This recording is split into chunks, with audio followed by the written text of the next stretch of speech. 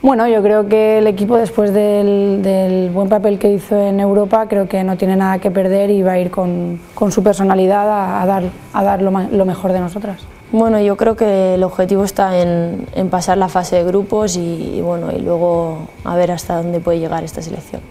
No, yo creo que lo que nos estamos planteando, ¿no? Sabemos que hay buen equipo, que hay buen grupo, que hay buena gente y que nos tenemos que marcar objetivos poco a poco, ¿no? Tenemos que ir partido a, partido e ir poniéndonos los objetivos a corto plazo. Yo creo que con humildad y con mucho trabajo vamos a hacer cosas grandes.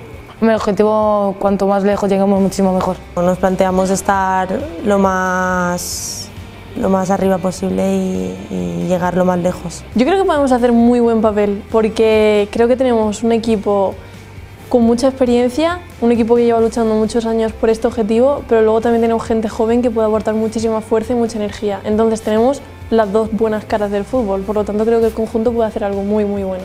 Pasando la fase de grupos y, y luego pues a ver qué pasa.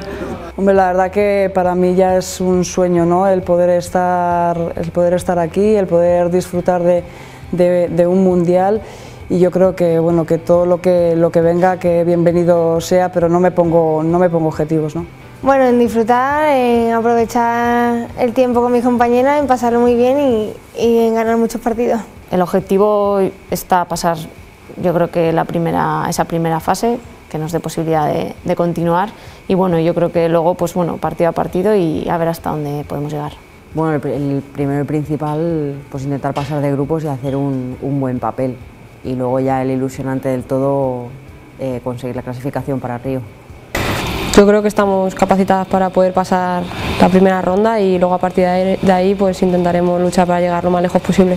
Yo creo que, que, todas somos conscientes de que el objetivo real es pasar la primera fase de grupos. Tenemos tres partidos muy difíciles contra rivales que serán muy complicados, pero intentaremos conseguir los puntos necesarios para meternos en la siguiente ronda y una vez ahí pues ver hasta dónde podemos llegar.